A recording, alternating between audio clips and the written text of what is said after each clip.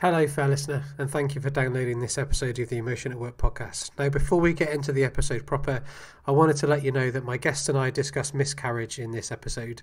Um, so, if miscarriage is a difficult subject for you or something that you are uncomfortable listening to or hearing about, then uh, this episode is one that you probably want to, to miss.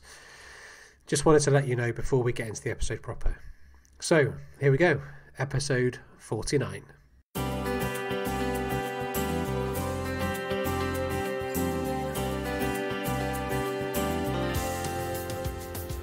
Hello and welcome to the Emotion at Work podcast, where we take a deep dive into the human condition. Um, now, one area that I grapple with regularly is how, um, in the work that I do, I put emotion kind of front and center.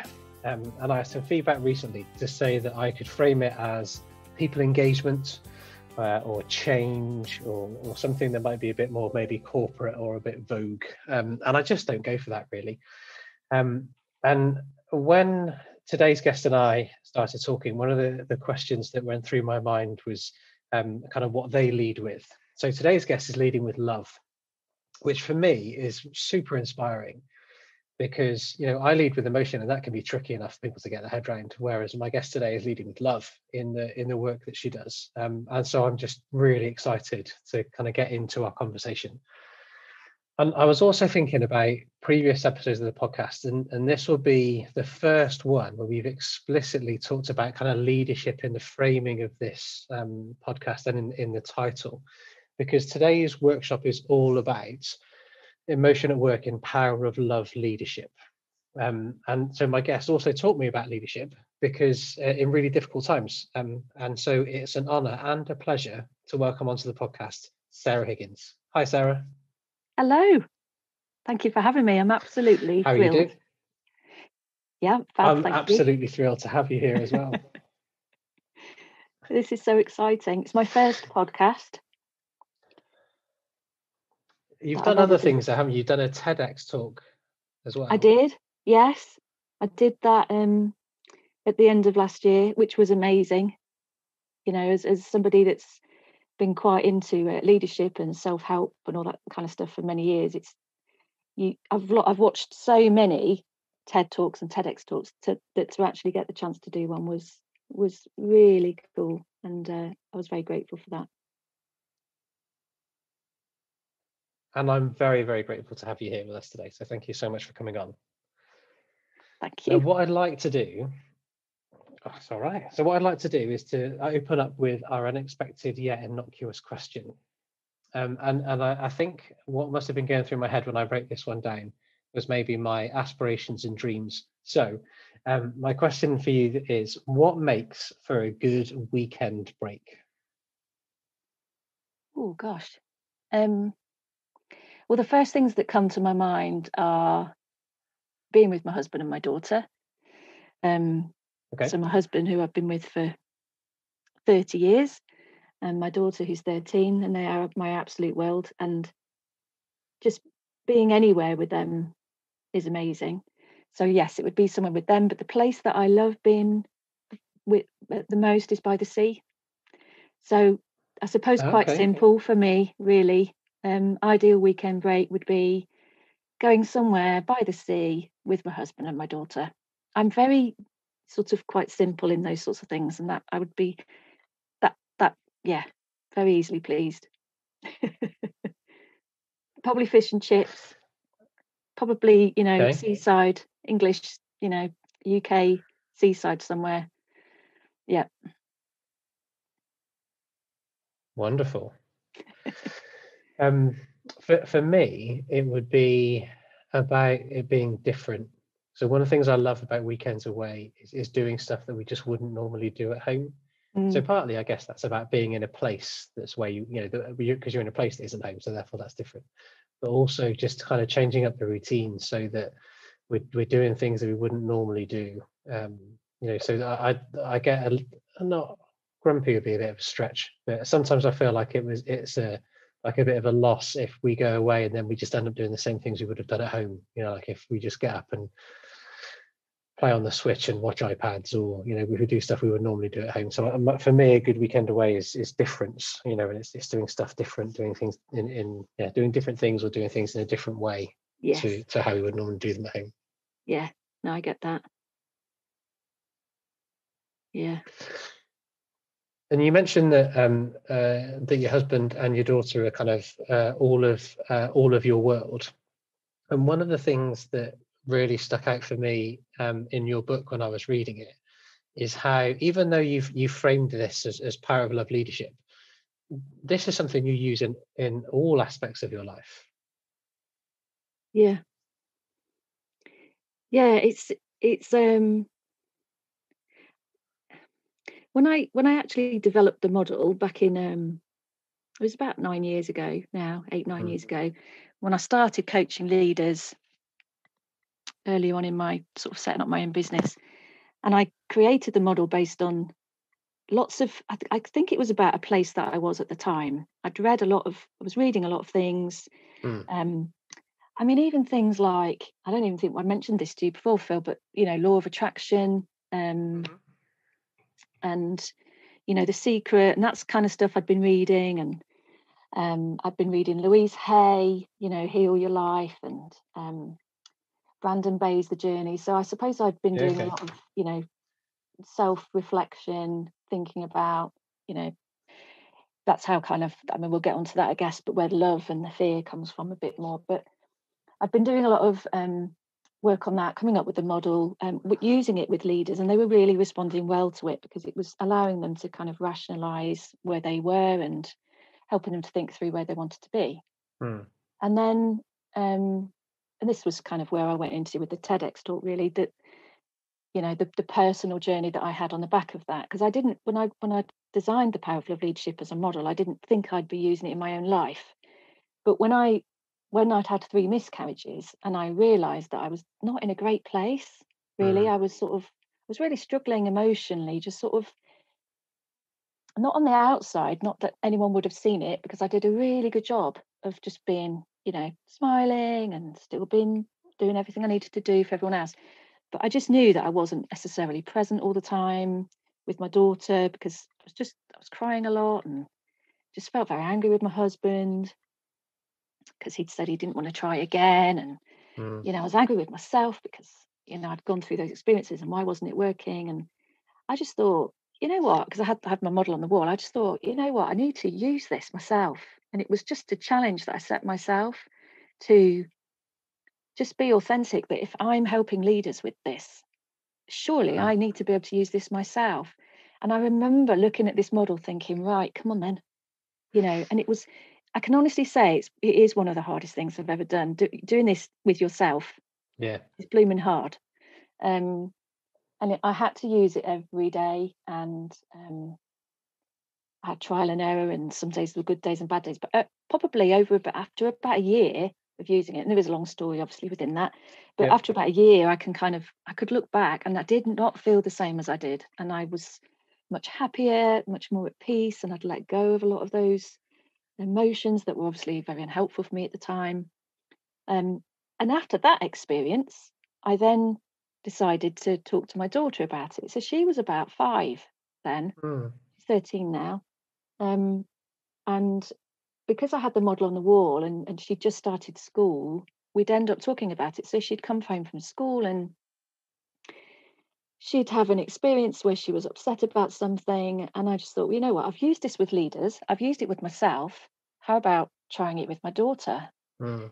And the whole experience of helping her to unravel that feeling that she was having that maybe was unwelcome or she didn't find it very nice or she was upset or crying or angry or just unraveling helping her to unravel that and then thinking about strategies or emotions or ways of thinking that might be more helpful for her to practice mm-hmm. she she just lapped that up and yes she needed guidance with it and it was trial and error again with her and but you know she's 13 now and, and we we talk about the the strategies and the uncovering your fears and what's going on underneath it and we talk we just talk about it daily now um, and when i wrote the book i think i just in order for it to be real um, I just wanted it to be real. And therefore, rather than just keeping on applying it to leaders, I think the main audience is leaders. Yeah. But I think I wanted people to know that as leaders, we are people as well. So, you know, yes, it's about how you lead others, but it's also about how do you lead yourself when you find challenges or difficulties or things that maybe are bringing you down or overwhelming you or you're struggling with and then maybe how could you use it in your own life with people you love so that so i guess it was just a i guess it's a story of how you can use it in day-to-day work which is mm. the main story but actually there are principles and practices that you can use personally as well because we're not just i mean we're human beings at work aren't we? We you know we we have a whole life around us especially more now that we're online and work and home is so much more integrated isn't it than ever before? Mm, definitely. So i hope that explains so it, it does one of the things that um, I think we should probably do for the listeners' benefit is talk about the model because we, you, I mentioned it, you mentioned it, but we haven't actually talked about what it is yet. So we should probably do that in a moment and, and just describe, you know, kind of describe the model and, and, and unpick it um, a little. Mm. Um, one of the things that um, that you mentioned there about, you know, we're human beings at work. I remember um, when I was doing some, uh, I guess broadly speaking, leadership development work, but it was also kind of culture development work with um, uh, with a client a few years ago. One of the phrases that I introduced there was, you know, that, that we are human beings, and, and I've seen other people use this phrase as well, so I can't necessarily say it's mine, but um, you know, we are human beings. We're not human doings or human thinkings. You know, we we we be, and we be everywhere. We don't just be at work. You know, we're human beings who be at home, who be at work, who be at play, who be at you know in, in whatever way. You know, so we can't just expect people to come up and turn up to work and just do stuff because they have to be, you know, and they have to, mm. to, to be and you know, they have to be okay to be able to do well, if that makes sense in that in mm. in, in, that way. Um, so yeah, you reminded yeah, me of that. that. Um, so I remember when we have our, our, our pre-call, you talked about how when you first came up with the model, you would kind of you you'd um, you'd bring it out and you'd put it on the the the you know the desk and, and you talk somebody through it. Now, for, I, I, was then thinking, well, for our listeners, then they're not going to get that visual. So we will definitely put a visual in the show notes. So yes. if fair listener, you want to um, you want to have you want to have the visual as um, as Sarah talks through um, the model, then you'll find a link to the visual in, in the show notes where you can where you can get hold of it. Um, so uh, yeah, if you want to if you want to kind of see it as well as hear it, then uh, you can definitely grab hold of it, as it were. Um, so where did the model begin, or where in the model did you begin then, Sarah? Did you begin like at the because there's a bit there's a few different components to it. There's a bottom and then a middle and a top and some bits down the side. So when you were putting it together, where did you begin with it? Um, well, it began with um, there's some there's some principles. Um, okay. So the main elements of the model are um, fear and love, and the things that we um, can feel that in the model are based upon fear and some things that we can um, do and think about and behave in certain ways, which I call strategies, which are based mm-hmm. on love. Okay. Um, and the principles that surround all of that are um, one of them. There's about eight principles, and it's things like um, mindfulness, um, self awareness, um, being able to use our imagination and visualization and um, not having blame, all those sorts of things. But the, mm. the one that where it all started really was internal and external locus of control. Okay. Um, and I remember when I um, I'd become qualified as a coach when I was actually still a HR director, and then um, that what that's great because when you become qualified as a coach, you know all the as an executive coach, you know you know all the principles, you know you know how to do it and all that kind of stuff. But when I when I got made redundant as a HR director and I decided I was going to, well, I thought I was going to set up my own business. I mm-hmm. actually got a, a, coach myself who'd yep. sort of been there and done it for about 10 years.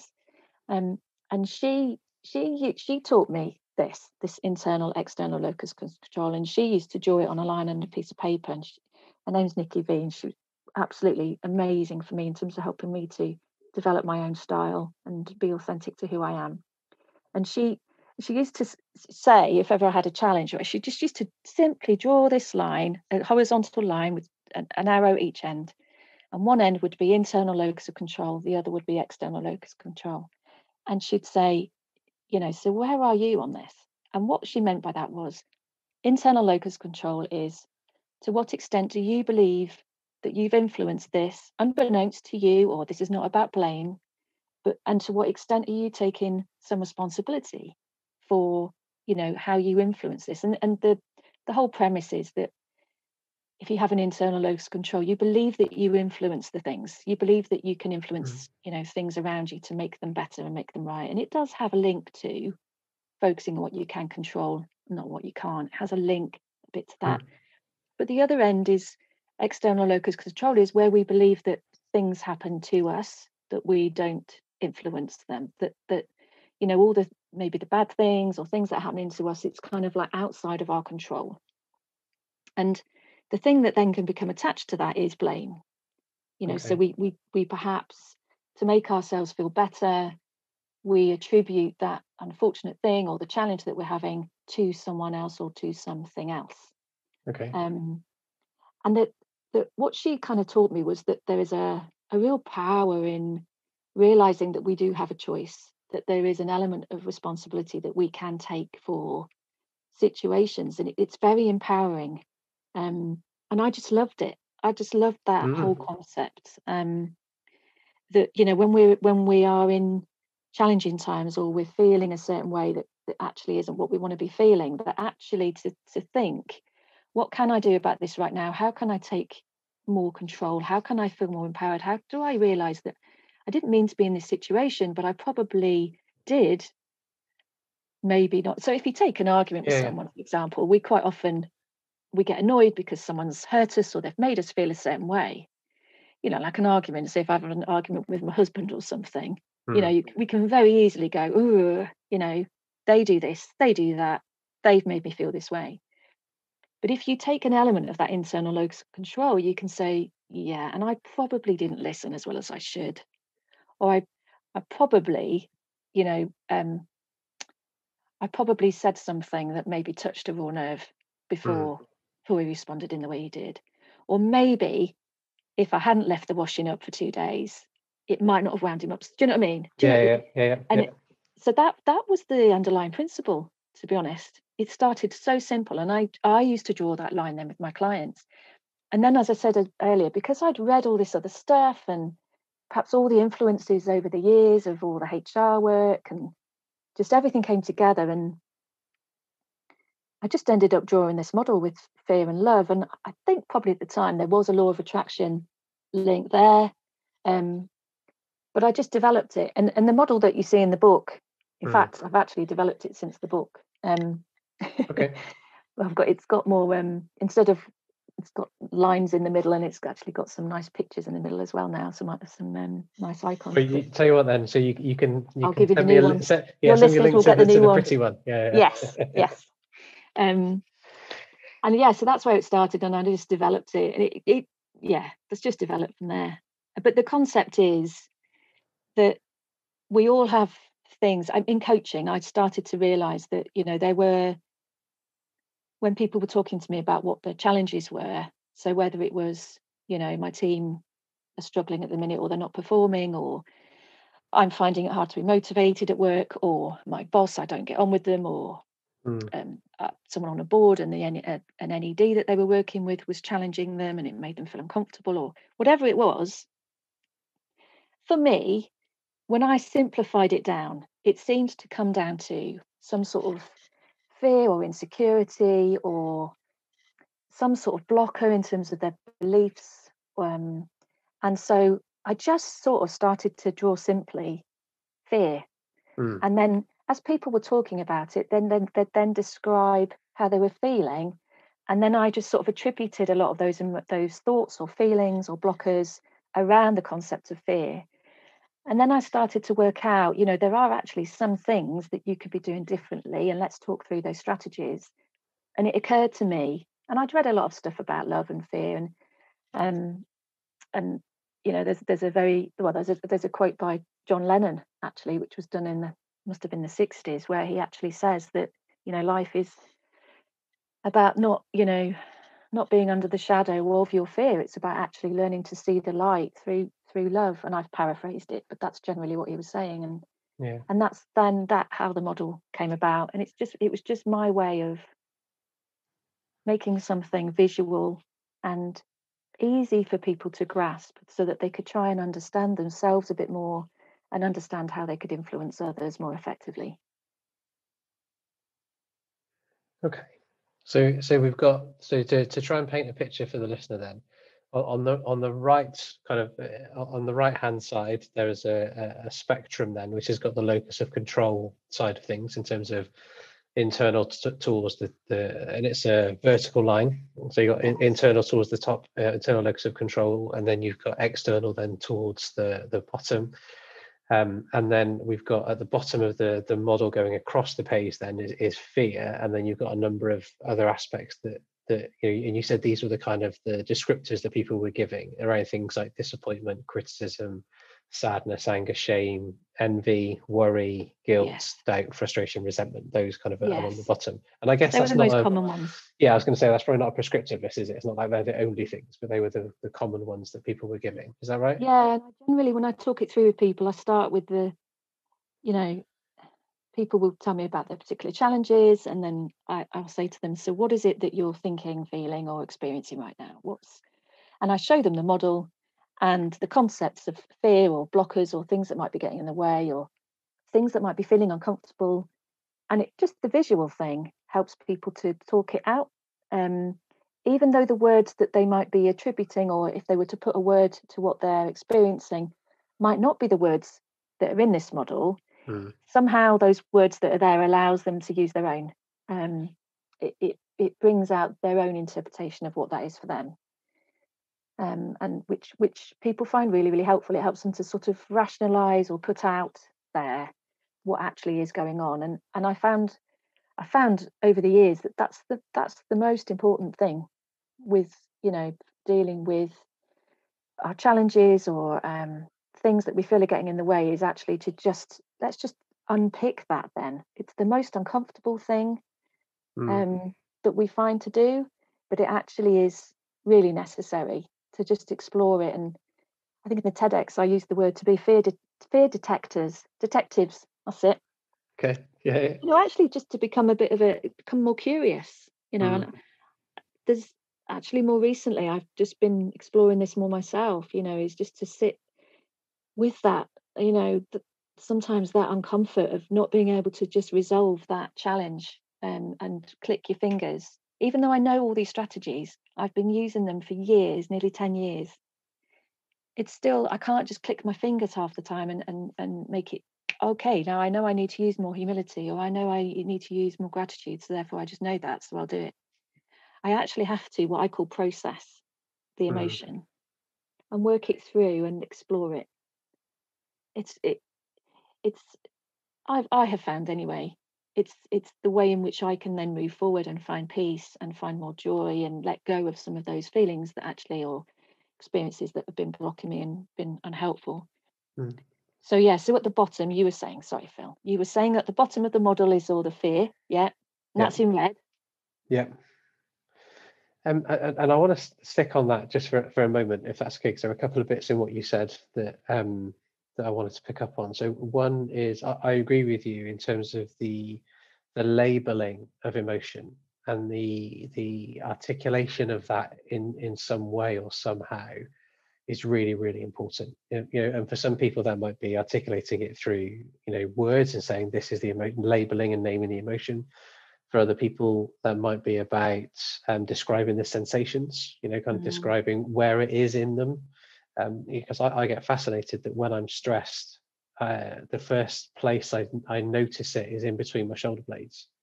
You know, it's not that mm. I, am not consciously aware of it, but I can just feel the the I can feel the tension mm. kind of in physiologically before I can necessarily um, uh, kind of linguistically put a, put a name on it. And I remember when I first looked at the model, I was like, oh, fear, really, Sarah? Come on, no. not all about fear, is it? Um, but it doesn't really and you know and if i was going to be a discrete emotion you know kind of discrete emotion theorist about it then you know a load of uh, the stuff that's linked to, listed at the bottom isn't all about fear but at the same time i can i can see how by giving somebody that framework even if those words aren't the right words for them by giving them some words it prompts that thought into well if it's not those what is it or if it is yes. those then it's one of those you know and yes.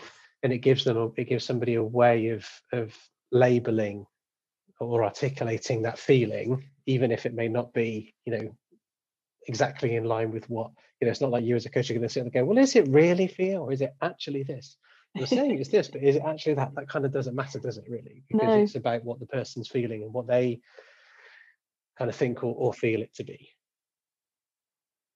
yeah I, I have found that it makes people feel it's safer somehow people have said to me just seeing those words on a piece of paper or seeing seeing that has made made them more able to say it to mm. speak mm. it out and to just explore it it is weird isn't it in a way that we would perhaps need to have that but it's it's a very uncomfortable thing for us to do um, yeah. but it's a very necessary thing for us to do and we should my my you know one of my beliefs is that we should just become a lot more comfortable with opening up about these sorts of things.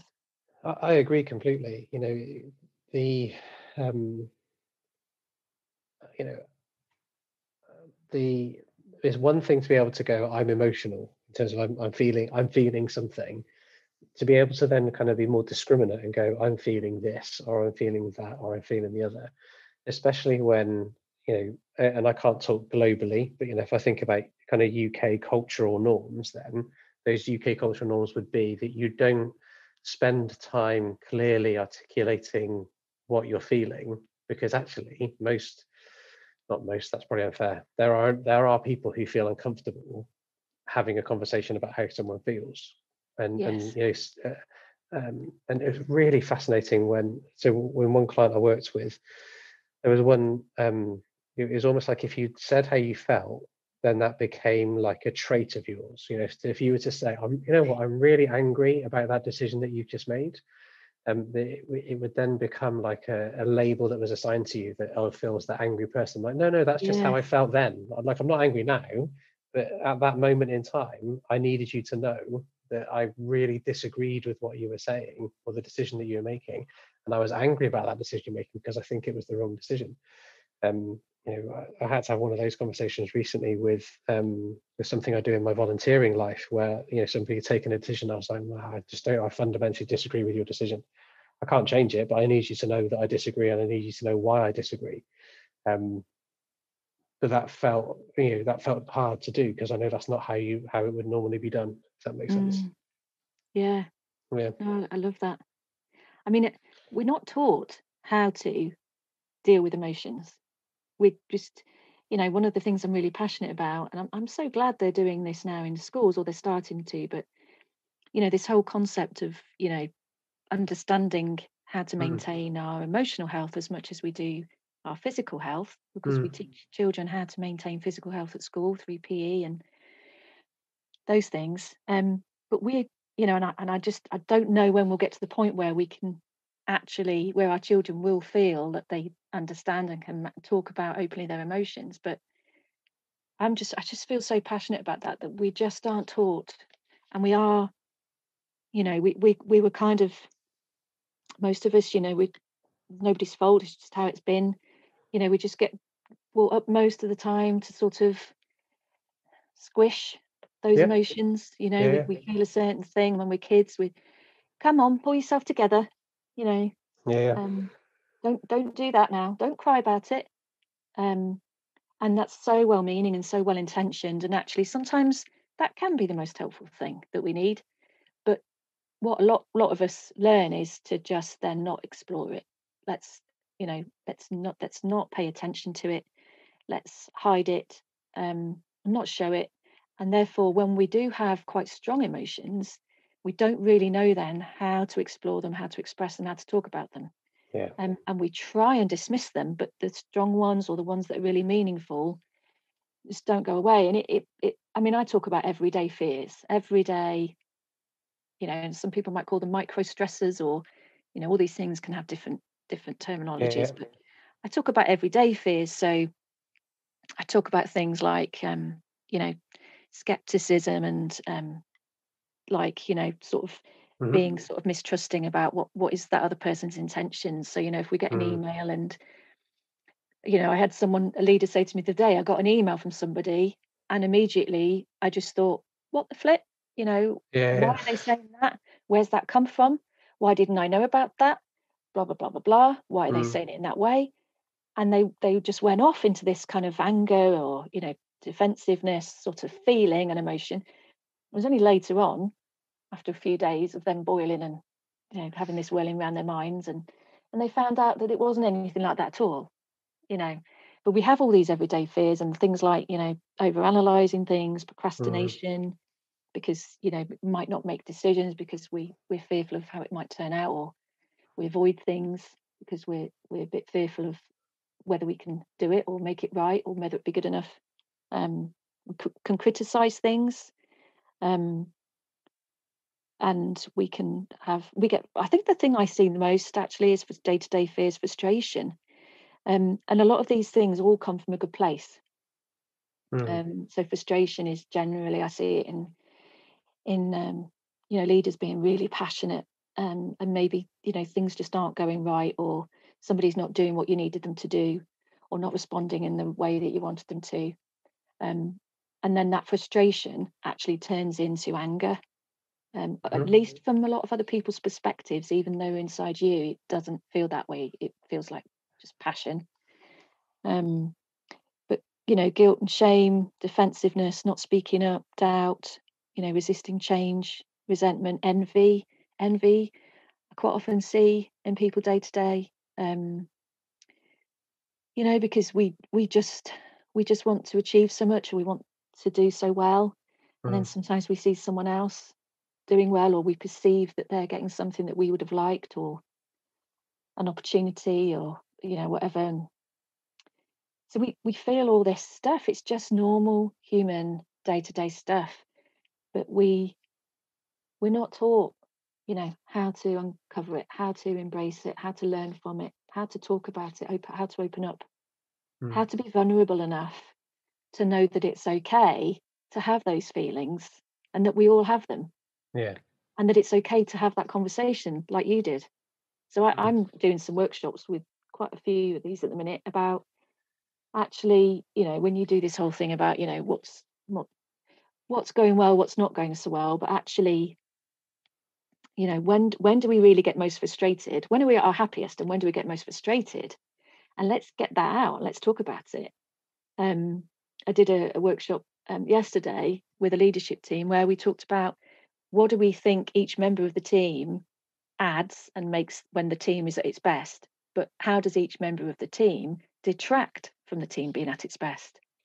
And there were nice. a lot of things in there about you know, when somebody gets overly passionate, they, that's their strength, but they overly use it, which it then becomes their, I mean, you could call it weakness, but you know, a lot of yeah. us say development areas, don't we?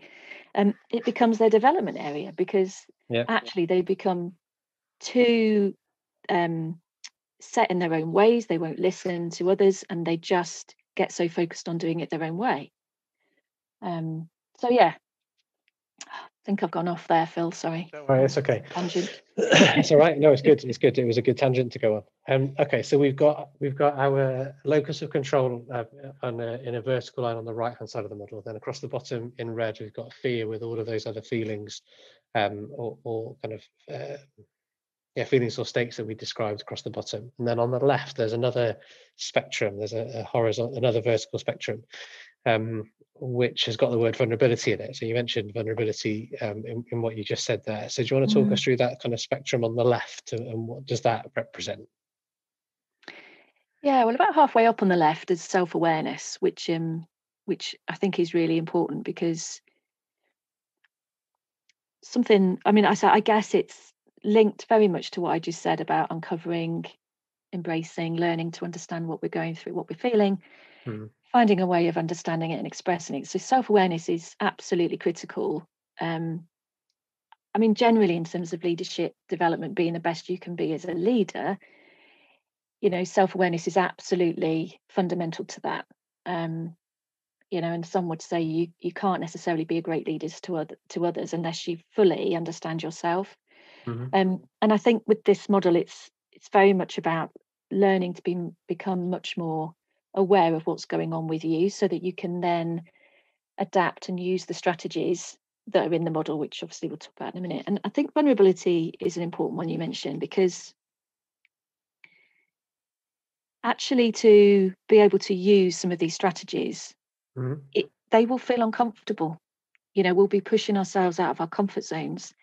As strange as it sounds, um, sometimes what we do when we're feeling or experiencing some of these other fear-based emotions is that they're not helpful to us, um, people will say, but they actually can be strangely comforting.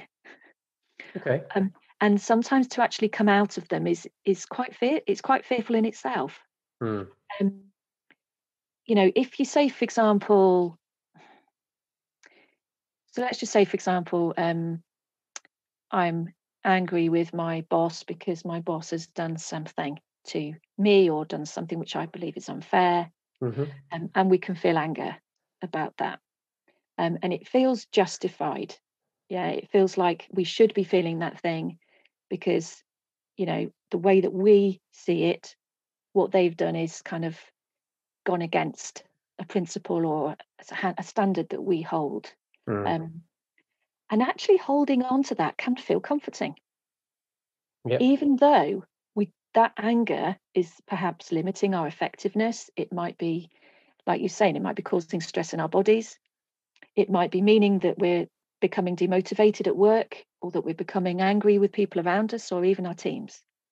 So that's the unhelpfulness of it that, you know, through the discussion we can uncover. But even though you then say, well, do I want to change it? Yes. You have to embrace vulnerability to then be able to use some of the strategies that we're going to talk through one of which it, two of which actually compassion and forgiveness mm. you know to be able to work through right okay in order to be able to let go of that anger you know putting myself in that person's shoes thinking about where they might be coming from um you know and i generally say you know forgiveness it's not about saying that what that person did was okay it's about being able to let go of it so that you can be okay mm. you know and these are not again these are things we're not taught to do but they are things that will allow us to be able to process that emotion and then be able to let go of anything that might feel unhelpful and allow us then to be able to and this is the whole point of the model really and right at the top of the model it's it allows us to be able to be more resilient more creative more focused on our work to have more health and well-being to make more effective decisions that aren't clouded by maybe these unhelpful emotions to build trust with people to be effective in our work, and to be emotionally intelligent, and to be motivated. And that, at the end of the day, is the reason for it. It's not, oh, you know, that person's not been, that person's made me feel a certain way, and I should be nice to them then. That because a lot of people think, oh, it's just about being nice, and it isn't. It's actually mm. quite strategic. That's why I call them powerful strategies because using them will make such a difference for you as a leader, for your teams, and for your organizations. I've, I've stopped myself there, Phil, because I'm, I know I could just, I feel myself so excited, so passionate about it. And I'm thinking, yeah, bring it, rein yourself in, Sarah, rein yourself back. So keep me in line, Phil. If I felt if I felt the need to rein you in or bring yourself back, I promise you I would. I promise you I would. Okay, um, thank you. Uh, so you so you gave us a link there then to, to some of the outcomes and the results you talked about. So you talked about resilience. We we also got uh, so these are kind of the outcomes at the top of the model. So we've got resilience, yeah. health and well-being, creativity and innovation, um, effective decisions, trust and authenticity, personal effectiveness, emotional intelligence, and and, and motivation. And I guess um, in in uh, uh I suppose is that what it's all about for you in terms of the outcomes and the results of, of what this model is trying to achieve for people? Is it is it that stuff at the top that you're yeah. trying to to support individuals, leaders, teams, yes. organizations to to get to? where yes. those things that we yeah that we've been through are available to them or available for them yes so in the book they're called the benefits you know why would you why would you even begin to look at this or use it or you know what particular outcomes might i be trying to achieve if i did do this and yeah. work my way through this yeah so i call them the benefits and for me it's the sort of the so what really you know if i because it's hard work doing this stuff you know if it was yeah. that easy we would all be doing it every day um but it's hard work and i and you know and i think it's a commitment to say actually i really want to achieve those things those eight benefits and or any particular one of them and therefore i'm going to commit to doing this with myself or my teams or in our organizations so that you know we can start to see more of the benefits of that or or there might be pockets of good things going on but actually how can we have this in a more consistent way mm.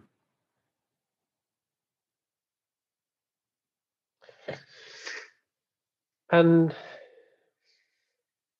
so one of the um, when you were talking earlier on about about what your personal situation where you, you felt you you know you were like right if I, if I'm going to say this is a model to use then I need to use it for me mm. um, and you mentioned that um, that it was hard and it took effort and, and, energy to to get there. And one of my reflections, um, yeah, having read the book and gone through the model was um, how accessible it was. You know, how how easy it was to kind of get your head around, how accessible you made it, how accessible the language is, how accessible the strategies are.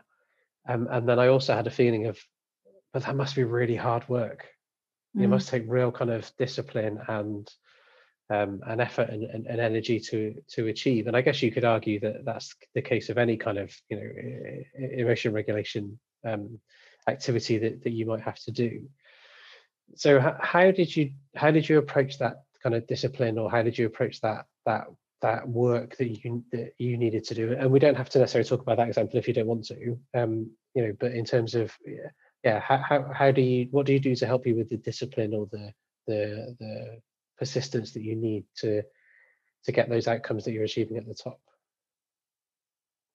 do you mean you know when you said not necessarily have to use the example did you mean the the one that i used in the book or with me personally or so the, so the miscarriage one in particular i guess i was thinking yes. about because you used that earlier on so you don't have to use that as an example if you don't want to you can use something different i guess i, yeah. I heard a change in your voice when you talked about it earlier on and i don't want you to feel uncomfortable i suppose well you know i've got i've got more used to talking about it and making and I, i've got more used to and i know this is something brene brown says actually about research that she's done on vulnerability is that the people that the people that she found that kind of ended up having better results were people that knew it was necessary do you know what mm. i mean that that yeah.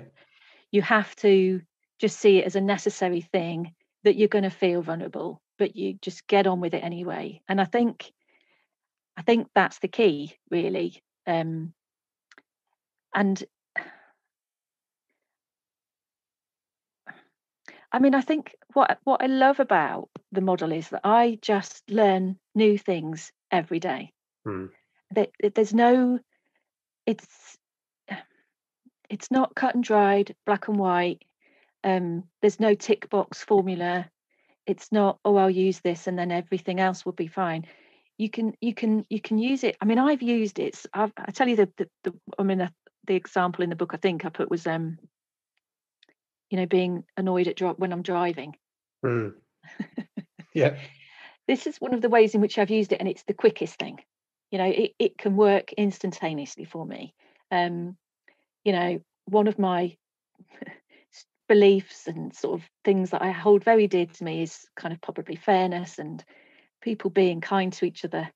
And, you know, when I'm driving along and being considerate of others on the road, and then, you know, do you know, sometimes I make an innocent mistake, like I get in the wrong lane, mm. right? And you try and you signal, I, I signal and I try and get in, and people just kind of close up to each other and they don't let you in as if to say, you shouldn't have gone in that lane and I'm not letting you in. And then you can you can almost, you know, and I'm mind reading, of course. Yeah, yeah. But I can feel their anger, you know, and I can feel myself getting wound up.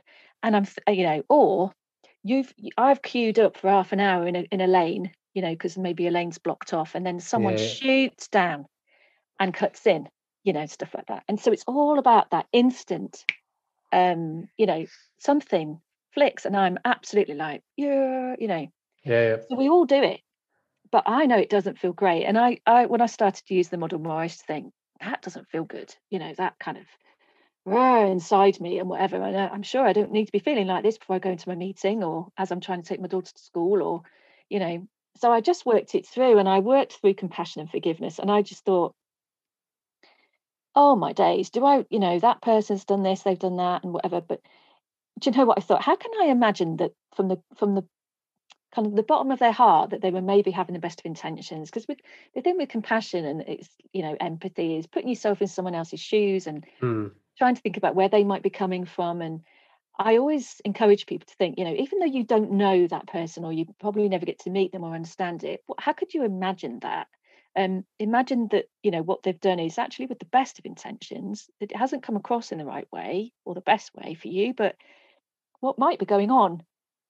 And i just mm. imagined that they were zooming down the fast lane and cutting everyone else off because they were on their way to see their gran who they just found out was ill in hospital and you know they love their grand so much that they just needed to get there mm.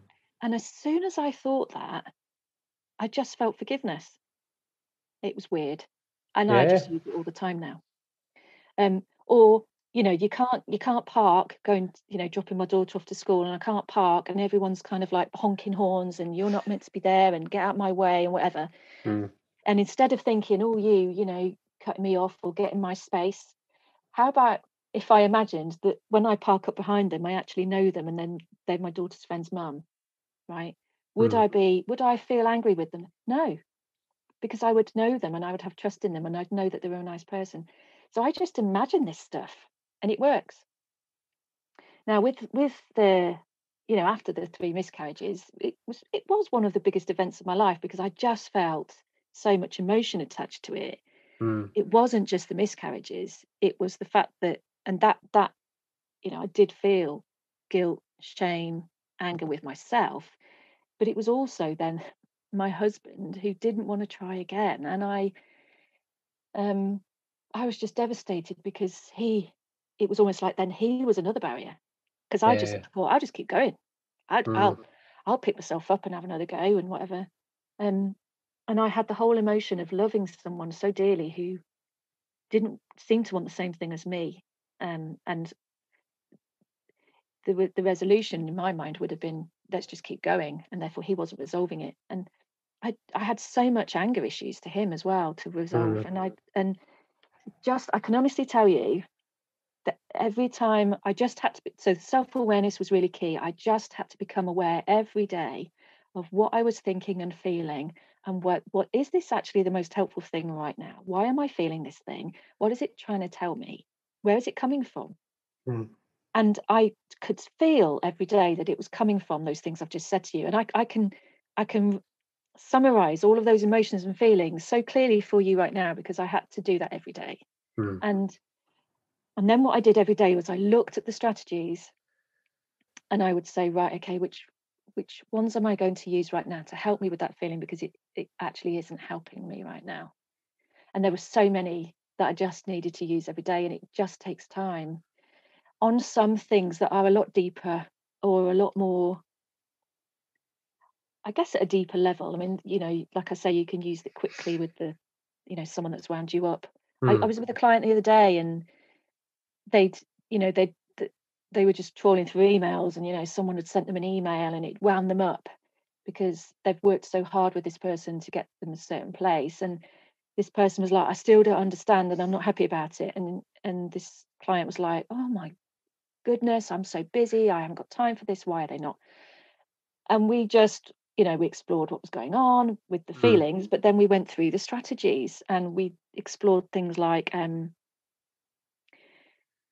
compassion and forgiveness but generally actually saying thank you for telling me gratitude mm. thank you for telling me that you're still grappling with this because actually if i didn't know that we i would have probably just gone on regardless thinking that you were okay with it mm.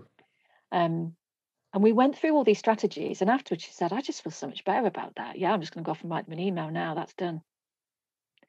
You know, some of that, sometimes you can use them and they work instantaneously.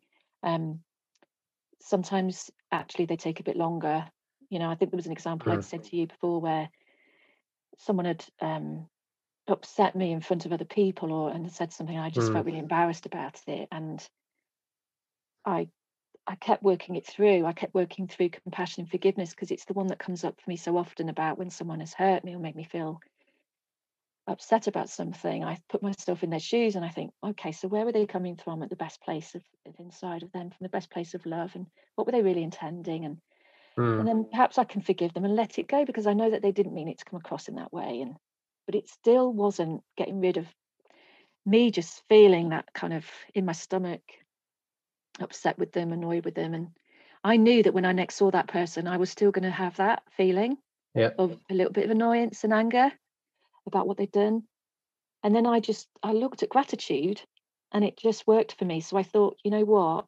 What that person had done for me up until that point, I was really grateful for.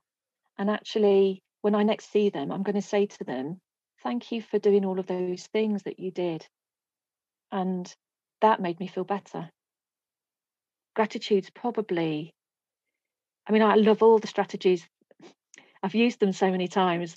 They're like yeah. it's strange to say they're like they're not little babies are they? But they're like they're just like so important to me in terms of how we use them. But gratitude gratitude i always find is like a it's like a calming effect um I remember being at an award ceremony once and I was so excited about winning this award many, many, many years ago. And when I didn't win it, I just felt so upset. And I know we shouldn't feel upset. And I know we always say to people, mm. mustn't feel upset. Joy in being a finalist. You know, you should feel grateful. And I, I didn't didn't feel it to start with. I just went off to the toilets and I just sat there thinking, oh. And I thought, you know what? Okay, gratitude. I know you work. And I just got my phone out and I wrote down, what am I really grateful for right now? Mm. And I wrote these things down on my phone. And I just felt this just enormous peace and love. And it was lovely. I went back did... out, enjoyed the rest of the night. It felt great. How weird is that? Maybe I maybe some of them are better for me because I've used them more. I think I often talk about um, I can never say this properly, so I'm gonna have a go. New neural pathways.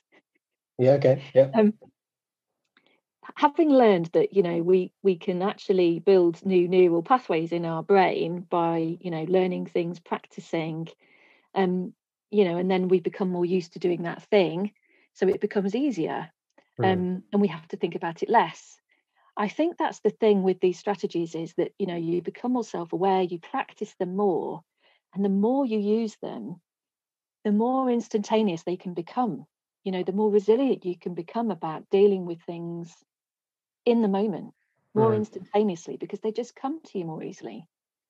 Um yeah. So, so, we should we should probably talk about them all because we haven't quite talked about them all yes. yet so so the first two you mentioned then in, in no particular order so one was compassion. Yes. Um and and in, in our pre-record off air one of the questions i asked you was um uh, you know can compassion go too far to the point where i know i love that yeah. So do you want to talk about that? That might be useful. Well, you finish off your point. Okay. It's a really good point. Yeah. So my question was, can can you know can that compassion and that empathy go too far? Um, and and there's a uh, there's a lady called Kim Scott um, who's who's kind of put together a, a model, and one of the um, one of the quadrants because it's a two by two, which means you need to be in the top right corner. Because whenever there's a two by two model, you should always be in the top right corner. Um, uh, but one of the quadrants is this idea of ruinous empathy, where you feel so much empathy or so much compassion for someone uh, or for a situation that you that you then don't do anything about it. Um, yes. You know, you you kind of uh, you accept the. Uh, it's a bit like um, the other thing that I guess he talks about in the HR press sometimes is the um, obnoxious star performer you know do you you know no i suppose that's not the same thing that's something completely different. So i'll, I'll I will stop myself there because that's something different. Um, but yeah the idea that you can be so compassionate and so empathic so understanding that you don't actually address the situation or address the thing that's making mm. you to use the model you know there's something going on that, that's causing you to have one of those feelings at the bottom. And then compassion can help you with them with the reframing of that and thinking about that in a different way but also it, that compassion could get you to a point where you then don't do anything about it yes. Yeah so how, how do you I, I guess the question then is how do how do you rationalize that away within the model?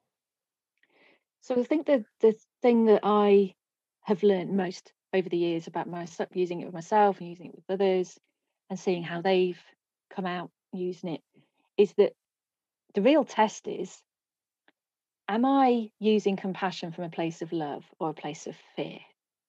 So when we so what we can often do is we we you know there's a client of mine who who says you know they've got a lot of leaders in their business who will just they won't you know they won't pull people up on poor performance.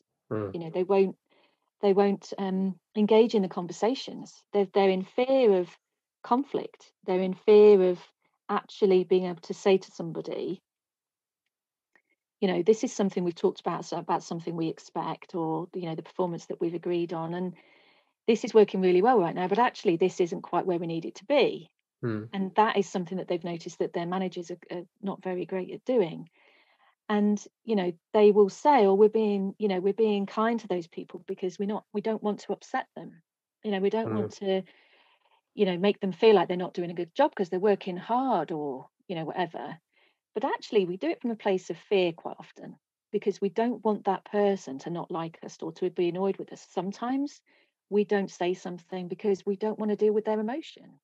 Mm. You know, sometimes we we we fear actually what is their response going to be? It might be that they're not happy with me. It might be that they become demotivated. It might be that they um, you know become resentful of me. It might be that they are upset that they're not doing a good enough job therefore i'll make them unhappy. So we we we overly think it all but actually it's i would say it's on the basis of fear. Mm. if you do it from the place of love it comes from the place of i'm going to do this and say this to you right now because actually this is going to help us to resolve a problem. This is going to be what we need to do which is for the best for you. It's for the best for the organization. Because if we don't have this conversation, this is only going to get worse. Mm. And and for me, when you do something from the place of love, you do it from the place of, of, of actually needing to do the best outcome for all of the people that are around you, and and not actually then for your own interests. And we don't think about it like that, but if you really think about it, that is often what happens. Yeah, I was I was doing some work with a client as well recently, and I reframed it as: Are you being nice or are you being kind? Yes. Because the being nice would be to not say anything and to spare their feelings and to, you know, to to not address it. But that's not being kind. Because the kind no. thing to do is to say, that's not good enough, and I want to help you, and I want to support you, and I want to get to a point where what you're doing is good enough. Yes. But that's not good enough you know, and and that's the kind thing to do. Whereas the nice thing to do, or the maybe the polite thing to do, is to go, oh, oh, oh not to worry, not quite what I expected. Thanks very, thanks anyway. um, you know, that's that's the that might be polite and nice, but that isn't kind. And there's um there's a lovely bit in one of my favorite videos. I have two favorite videos that um, I often refer to, to people to. One is the Brené Brown Power of Vulnerability, where she's just it was one of her early ones, and she's so yeah, vulnerable yeah. and so funny. But um, the the other one I love is Patrick Lencioni's um, Five Dysfunctions of a Team, mm. um, and he he brings it all to life alive in his stories and anecdotes. And there's one story about him being on a like a church group, mm-hmm. and you know they're all discussing ideas, you know, for the church fête or something. I may have got all the details wrong, which is just how I remember it anyway. Yes, right. Um, and they're all you know talking in the groups in the in the group every week or whatever we, all these ideas and this one woman keeps saying we should have balloons. We should have balloons. And he said and we're all sort of sat there sort of trying to delicately look at each other as if to say no we don't really want balloons. But we all go yes absolutely and we all nod you know and we don't say anything. We don't mm. disagree with her. We don't actually want to hurt her feelings right so, but we all come out in the meeting, we all go, oh, do you know what? I wish she'd shut up about them flipping balloons. You know, why should she keep going on about them blooming balloons? Anyway, this goes on for a few months, and then she finds out that, you know, they were all going on about her mm. balloons mm. and not liking it. And when she found out, she was absolutely devastated. And then he says, but at least we didn't tell her that we didn't like her balloon idea. because, you know, what he's saying is we end up actually hurting people much more by just not having that honesty and being compassionate from a place of love. And the, the test is always can I do this without needing to have a certain response in a certain way? You know, by actually, and this is what this is what um Brene Brown talks about quite a lot is being able to put yourself out there from that place of vulnerability, knowing that it's the best thing to do for the people around you, for the organization, whatever, and not needing to have that validation back, you know, because you know you're doing it from a place of love, you know you're doing it for the best. Mm. I hope that makes sense and answers. Yeah, yeah, yeah, it does. That. Yeah, it does. Uh, okay, so uh, you, you're then you're the se- the second one you went to after compassion then was forgiveness, and you said that that's that can be equally for forgiveness of yourself and or others. Is that right? Yeah. So all of them you can use with yourself and others. Oh, okay. Sorry, um, I, I misrepresented that distinction. No, no. um, so if you take compassion, for example, when you use it with yourself, it's about self compassion. You know, it's about mm. being kind to yourself, giving yourself time um, to maybe reflect every day or time for yourself to just enjoy something that you enjoy doing. You know, so many people that are amazing at their jobs that I work with just do not spend time doing anything good, nice for themselves. Um, self compassion, and obviously that's become more important than ever, hasn't it, in the last mm. 12 months? Um, and obviously compassion and empathy and um, putting yourself in someone else's shoes but forgiveness yes self-forgiveness is one of the hardest things it, it's mm. very hard to forgive others when you think that they have wronged you or hurt you or done something that's against something that's really important to you the key thing about forgiving others is that you know we we hold on to that burden ourselves and actually you know that's a weight that we hold not them we think that by holding on to that i'm not going to forgive them that that somehow will teach them the lesson that they need but actually, we hold on to that burden and we should be letting that go because it, it doesn't make a difference to them that we hold mm. on to that. Yep. Um, and, you know, forgiveness in the business sense, I often talk about is finding the ways to be able to move on. I use yep. compassion and forgiveness quite a lot. And in the business point of view, is to say, seek to understand and not to blame.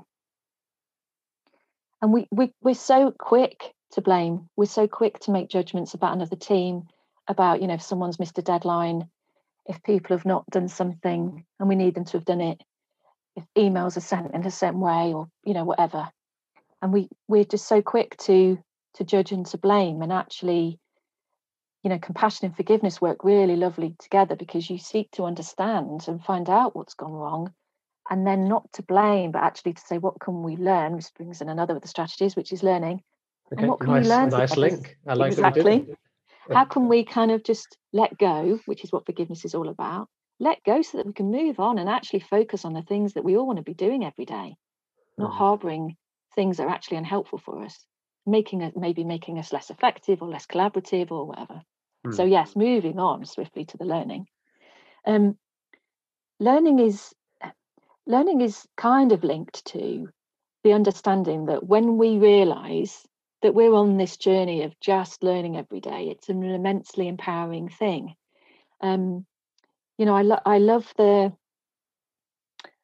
I just find it a very freeing concept that actually what we're doing all the time isn't necessarily then for us to judge how good it was or how bad it was, whether we've failed or succeeded, whether we've won or whether we've lost, but actually it's about what do I want to learn from that to take forward to the next thing?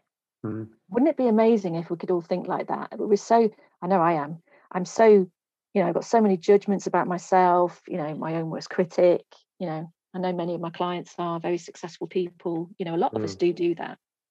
Um, and there's nothing wrong with all of those feelings, of course, because they can actually be helpful and they can be motivating. But learning is about realizing that actually it is about that ongoing journey and that I often use humility with learning together another of the strategies. Humility. What, about... I, don't need to be here as a host, I don't think anymore. I'll just, I'll just leave you to it.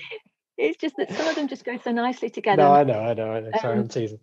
I was with the client this week who, you know, we used humility and learning together. So, you know, actually going into maybe a new role or taking on a new challenge, um, that might be feeling daunting and, and that feeling of doubt and you know whether you call it imposter syndrome or whatever that feeling of am i going to be good enough? Am i mm. potentially going to be able to prove myself? What will people think of me?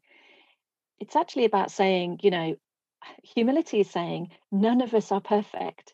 We are not robots. We are human. And you know the amount of years i've done i use hogan psychometrics with people and i eh, when they've done the psychometric and we do the so what does this mean then?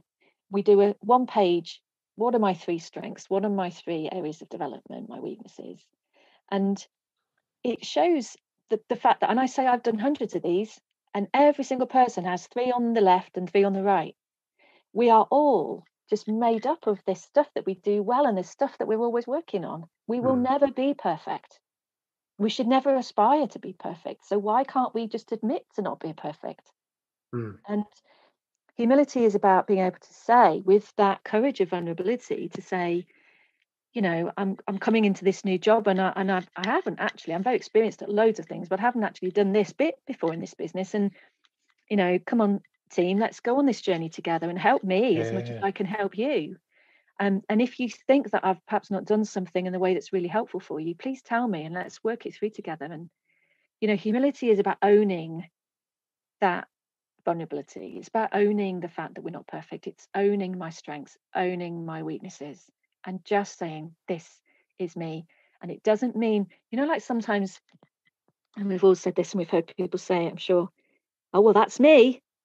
Yeah, you know, and yeah. you won't change me. And I, I, I did work for someone once that said that to me. I think he said something like earlier on in the days, he said, Sarah, you've got all this wonderful HR stuff and all these psychometrics. I think you might know who I'm going on about. Yeah. But he said, but you'll you'll never change me. and he just sounded so proud. I mean, I loved him, bless him, and he was amazing. Yeah. But he just was like so proud. This is me. But actually, what's really powerful is when we can just own the stuff that we do really well and the stuff that we just will continue to develop and work on. I just find that really powerful and, and empowering. Mm. Um, and to be able to embrace vulnerability as a culture you know to that's what i'm doing with one of my clients at the moment actually and it's it's just so wonderful to see and it, it's taken some time you know but it starts with the leaders mm-hmm. You know we did a we, like i say we did a session this week where they were sharing their strengths to what they thought of each other you know mm-hmm. what they bring what they what they detract being able to open up share vulnerability being okay with not being perfect is a really big thing for us as humans, but it's it's immensely important and it builds trust. I always say humility is one of the biggest trust builders. To be able to let go of our egos, to be able to say we don't know, or I'm sorry, hmm. you know, I didn't mean to hurt your feelings, or I'm sorry that that didn't come across in the way that, you know, I, I meant it to, or you know, all of those things. When we can, when we know how powerful they are, they re they can rebuild trust in an instant and it's like i always call it like the super glue of leadership humility mm. but learning is really important with it because as well as saying i'm not always so great at everything to be able to say and what i've learned from that experience or what i've learned from you telling me about what i could be doing even better is that i want to do this even more. Mm. so please give me feedback about that. So it's immensely powerful to be able to embrace our imperfections and then to also say and i'm on a journey of continuing to learn. And please you know let's all help mm. each other with that. Yeah definitely. I've i've hired uh, over the past six months i've hired two people into my um, into my company um, and as part of the induction that I put together at the end of each week, um, or eh, for each week of the kind of welcome to emotional work plan that I have, mm-hmm. are, a, are, a, key set of questions. Um, and and in there for I think week two is um, how might I piss you off? How might you piss me off? I because, love that. Because I want it to be, you know, like I, I thought week one might be a bit much. So week one is like, what what do you need to be at your best? And week one is what do I need to be at my best? And then week two is, you know, what yeah, what what might I do that pisses you off, and what might you do that pisses me off? Um, uh, and and then the third kind of component to that is, and how are we going to tell each other when we piss each other off? Because I want us to ha- I want us to have that conversation at week two, not at week whenever when I piss you know when I piss my my colleague off or my colleague pisses me off, I want us to agree dead early how we tell each other when we've pissed each other off. You know that might be different for different people you know so so um, not necessarily now but someone who used to work for me said can you text me if i piss you off? Um, mm-hmm. and and then and so we can arrange a call but i but i really i want to know that i've done it. I don't want to come into i don't want to have a call with you and think that we're having like a one-to-one or we're having a nice call when actually it's i've pissed you off call. So can you tell me that the call we're having is about that I've pissed you off? And I was like, yeah, we can, as long as that call is really quick after the text. Because what I don't want to do is text you, and you piss me off, and then not have a call for like two days and have you stewing over the fact that I'm telling you you pissed me off. You know, so yes, I can do it, but could we have the call really quickly so that you know you don't so that we, we know where we're at and we know kind of what we're doing but that kind of yeah that, that uh, for me it's about how do we have those tricky conversations so we don't feel clunky and it doesn't feel awkward when we do it because we've already agreed this is the way we're going to do it. Absolutely. And one of the things that came out of this group team leadership, the leadership team, sorry, session this week was mm. somebody said afterwards, you know what, having got we I was really dreading it. Most people were dreading it beforehand, but you know, having got all of this out of the way now, wasn't as bad as I thought. And also now we all know what, you know, pisses each other off. Yeah. We can then continue to keep telling each other that, you yeah. know, but we know that we can do it. And it's going to be okay. And it was so, it was just really powerful because they all, they all felt the love in the room when they were all telling each other, you know, the lovely things. Yeah. Because actually, we don't spend enough time doing that. I agree. Um, and that's one of the things about enthusiasm, which is the one of the other um, strategies, and I guess a little bit about gratitude. We don't spend enough time thinking about when we've done something really great or you know giving people feedback about what we appreciate about them which is gratitude for example mm. and they all you know they all felt actually probably more uncomfortable hearing the great things mm-hmm. than they did because they're so used to processing and hearing the negative. and you know when we look out for the negatives don't we we have a yeah you know, we're always attuned to the sort of the, the threats more than we are the lovely things but it was just lovely at the end then for them to say that you know let's continue to really open up and talk to each other about this stuff about when you've done something that's really annoyed me or I think has been really unhelpful. We've yeah. done it now. Hard bits out of the way. Definitely.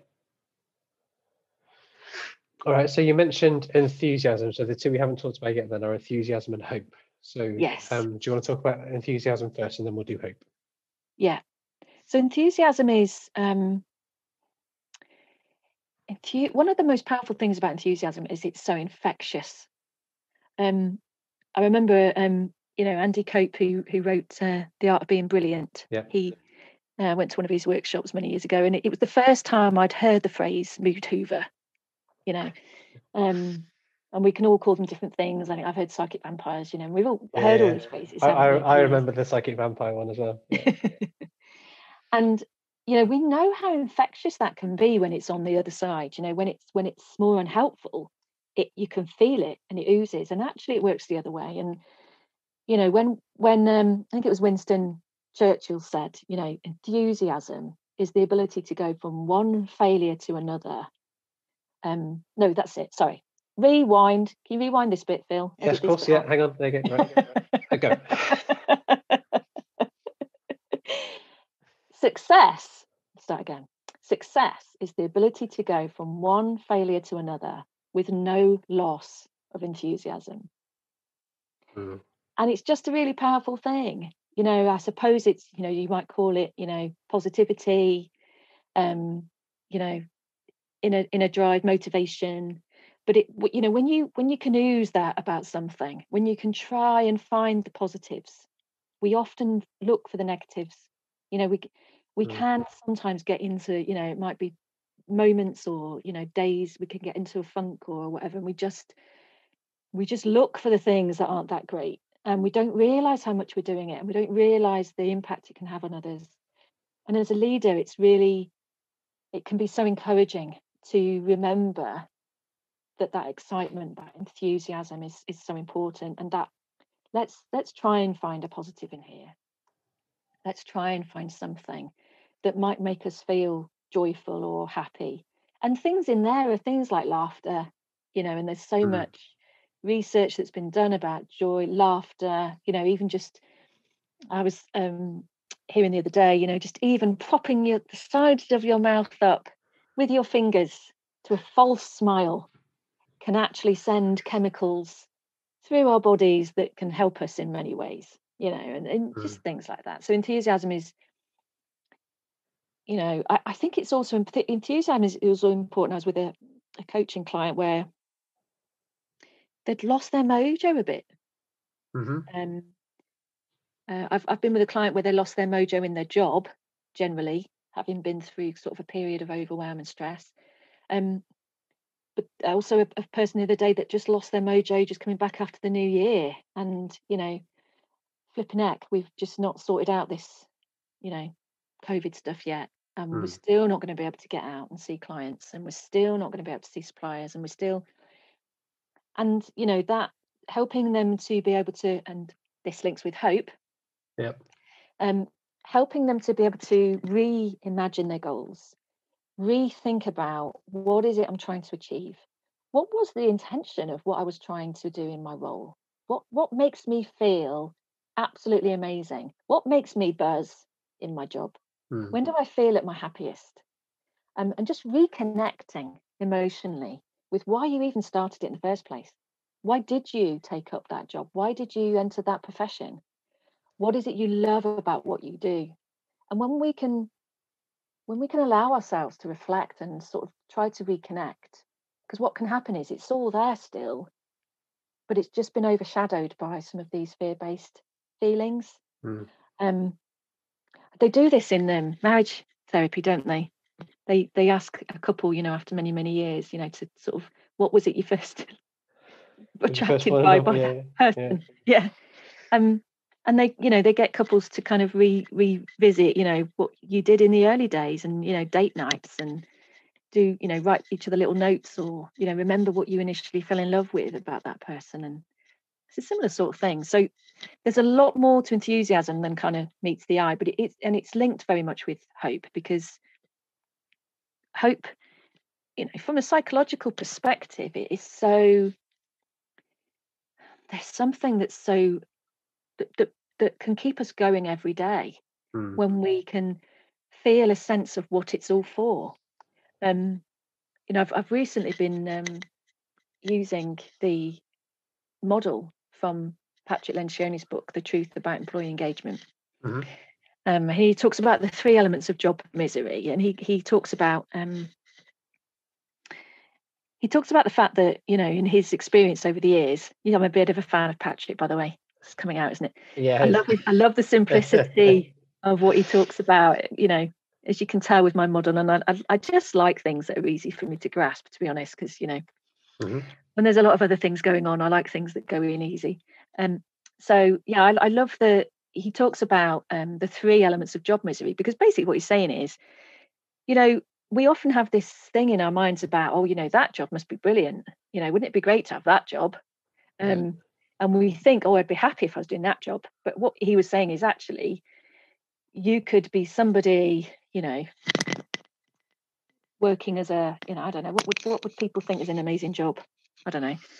Whatever uh, well i don't know. For the money you'd probably go professional football player um, there you go. Um, or for the reward you might go like a surgeon you know for the gratification you would get for you know for saving lives or you might have or like an airline pilot maybe. Yeah. constantly up in the sky and you know seeing the world from above and seeing different parts of the world maybe some of those? Or maybe that's just mine?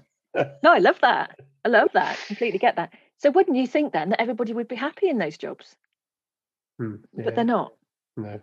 And what he was saying is you know there must be something else then there's obviously got to be something underneath all of this. And what i love is that having done you know years and years of employee engagement and you know we all talk about it a lot and we all you know i don't say we struggle but we're all on a journey of you know doing whatever we can to make sure that people are as engaged as they can be at work. And it's you know mm. a great thing for us all to be working on and, and working hard to do but i love the fact that he just boils it down to three things and um you know some of this actually links to the gallup you know stuff that that the research they've done but he talks about irrelevance in mm. measurement and in anonymity and the relevance is that kind of where you you know you just feel like your job needs to matter that it's all for something that it makes a difference in some way you know, and I remember one of the things I learned early on in HR was that, you know, telling people in the business, we must make sure that people who are,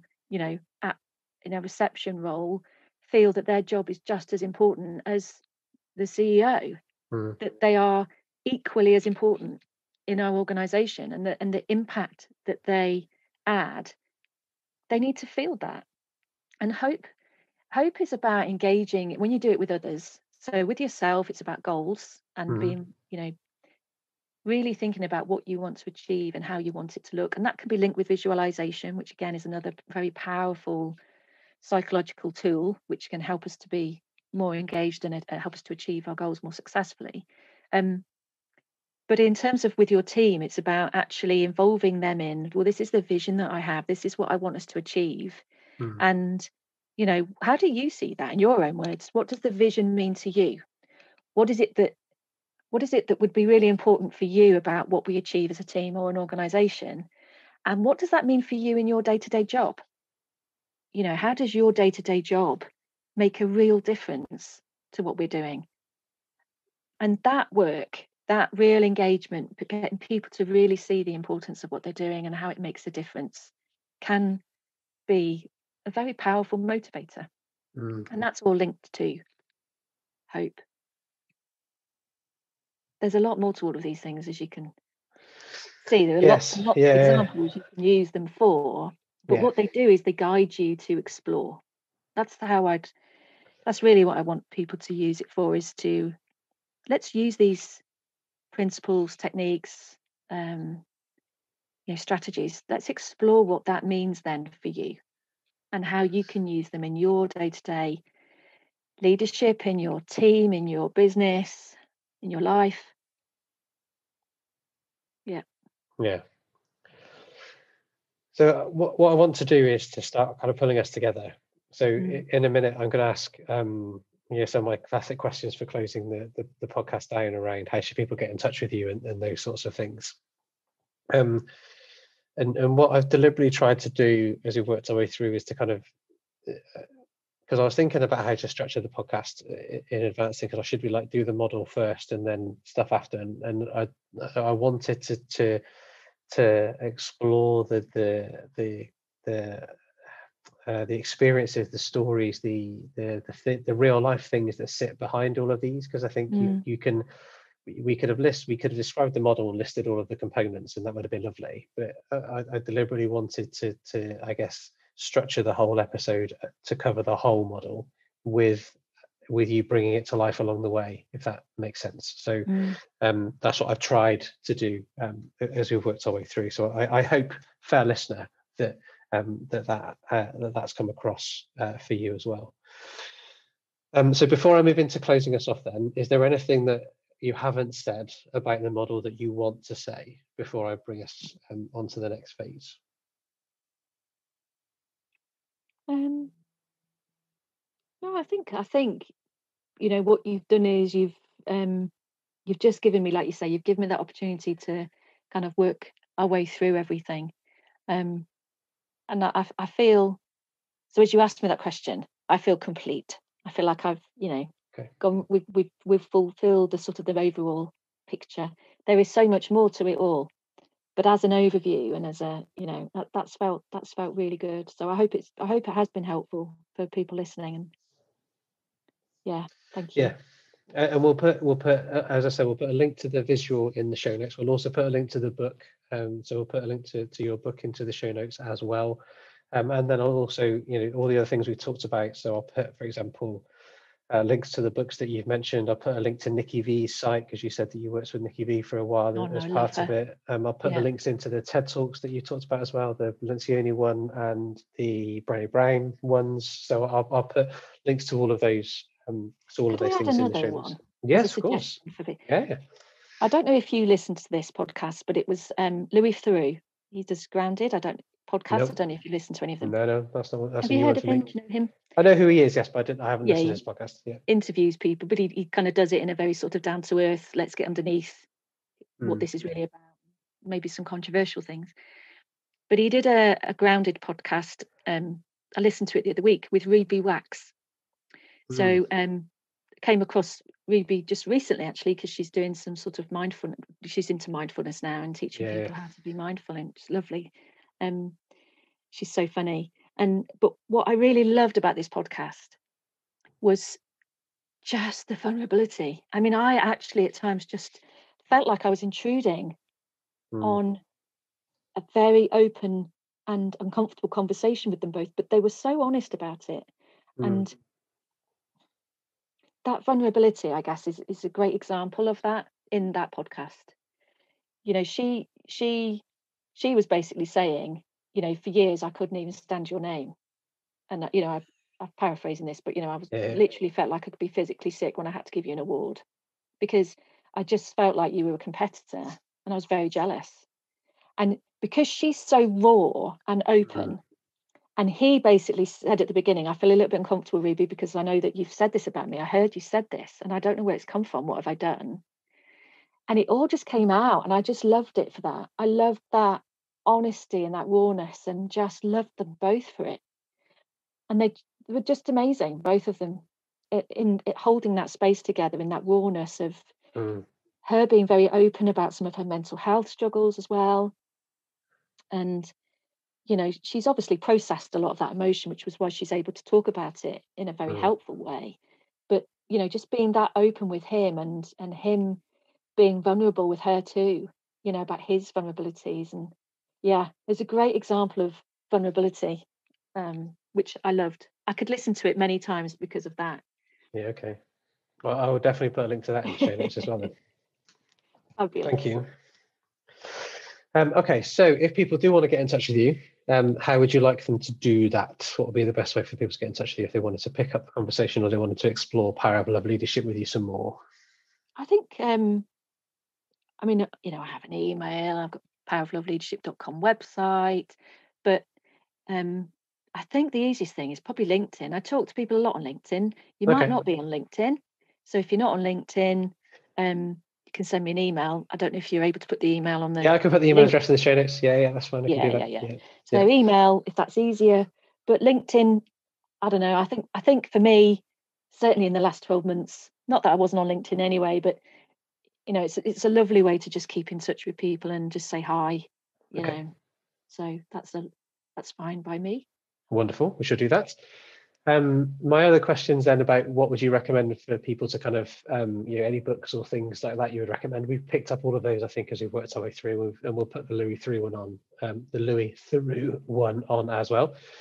but is there anyone that you think um, we should seek out to get on the podcast? Is there anyone that you think, you know what, if you were to get this person on, I think that would make a really interesting listen. Is there anyone you would recommend or suggest that we should get on the podcast?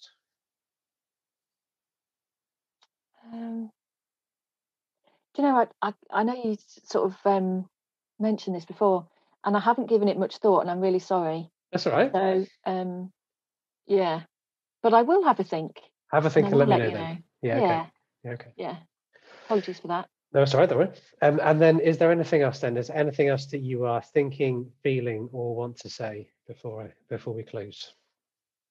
Just thank you so much.